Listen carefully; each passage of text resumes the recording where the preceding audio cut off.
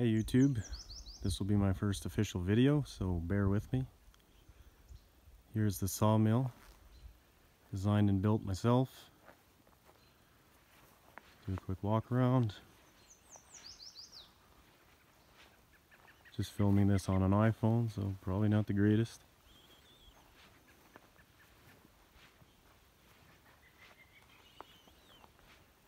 The saw head is a fairly unique design. I'm unsure if there's any benefit to doing it this way, but I just wanted to do something different. It's very rigid. Cuts nice and straight, very little vibration. To change the blade, you simply pull off these outside covers, one on each side. You can slide the blade right on. Belts down inside there, drives off this clutch. Goes around the tensioner here and around this drive wheel. This drive wheel is aligned with this adjustment here. Blade tension done off of this. Simply loosen the axle off and you can adjust forward or backwards. There's one on either side so you can align. Belt tensioner there. Utilize the pilot bearing on the end here. A little extra stability of the shaft. Clutch is a little rattly. I think that's pretty normal for centrifugal clutches. Machined all the parts myself. I don't claim to be a professional machinist, but I get by. I know what I need to know. I don't know it, I'll learn it.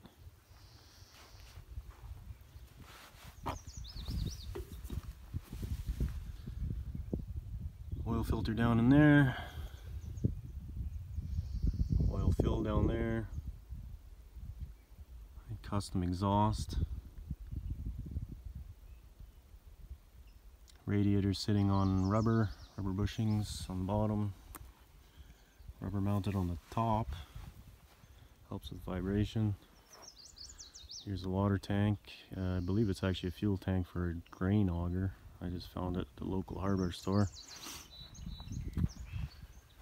And there's my water valve there. It's actually a petcock valve off of a generator. This is a Honda motor. It's a GX360. Came out of the same generator. It was uh, the generator was dropped off of a pickup truck was basically a write-off. Ended up getting it all for free. Had very low hours. It's a two-cylinder overhead cam, belt-driven cam, 13 horsepower. Had to basically rewire the whole thing to make it all work in this application. Uh, managed to steal the oil light and temperature light and all the sensors. Everything seems to work has an electric fan. Fan's just on a switch here so if it's getting hot just flick the switch and so far so good.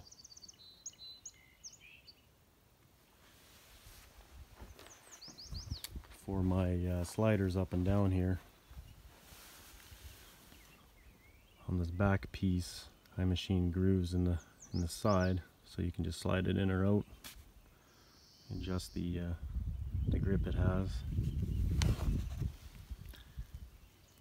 Utilize some UHMW. I'm trying to get in there. There we go.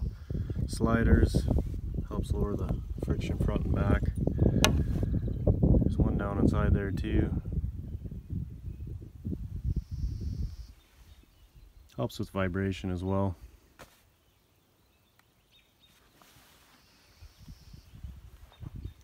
Now I use the one inch ready rod, eight threads per inch. Then when you rig the cables this way, it cuts that in half, which gives me a quarter inch up or down per turn on the handle. Haven't had any issues with it creeping up or down. It's fairly tight. Runs on a ball bearing there. All these uh, pulleys have bronze bushings. Runs on a ball bearing down in there. This particular pulley goes travels up and down as well with the cable. Use the marine style gas tank. With a quick strap, just press the button, release the strap, and you can and I can take the gas tank home with me when I go back to town and bring out fresh gas. Just adjust the uh, cable heights here.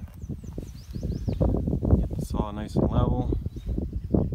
If cable stretches, you can just adjust accordingly.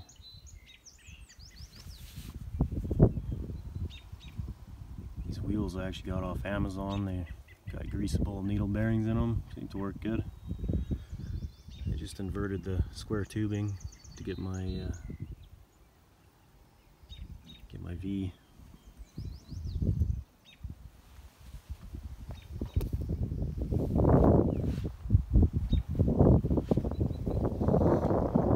doesn't have any real guard on it. I don't really foresee the blade kind of flying out of there, but I haven't blown one up yet, so we'll see.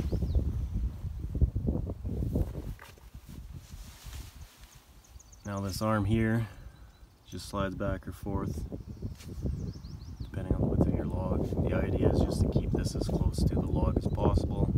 Helps with it cutting straight. This current rail system is uh, it's adequate. I'm going to build a 2x4 rectangle steel frame underneath it at some point make it a little more rigid and that way I can skid it around and easier to level up. I can currently mill about a 17 foot long log.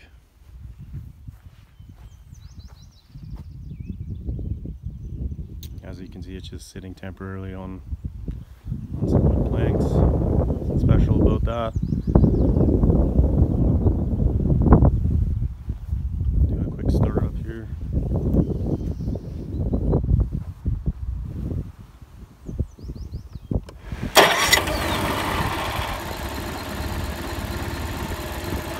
Hit the throttle.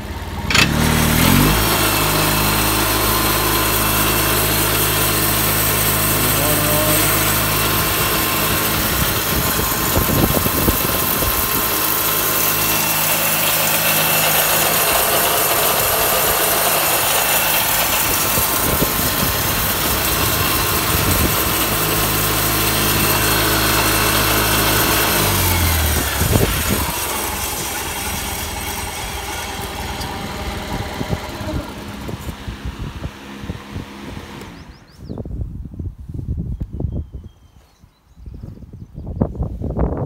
Here's some lumber I just milled.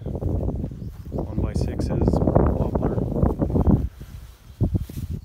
Gonna be used for an upcoming deck project. I've got a whole bunch more of this I've already cut. We just stack it in that little tent to dry. It's cutting nice and straight, very little saw marks. I've actually cut a about a 3 16 strip with it and cut straight the whole way, so I'm pretty impressed with that. Now this log equipment we actually found half mile down the road in an old farmhouse. I'm told it's probably about 100 years old, so we figured we'd make use of that too. But there it is. I'll uh, do a time lapse next of the build. You can see basically everything. I'm not great at taking pictures when I'm building. I get a little carried away, but you'll get the idea. And then after the time lapse, I'll uh, have some video of it cutting wood.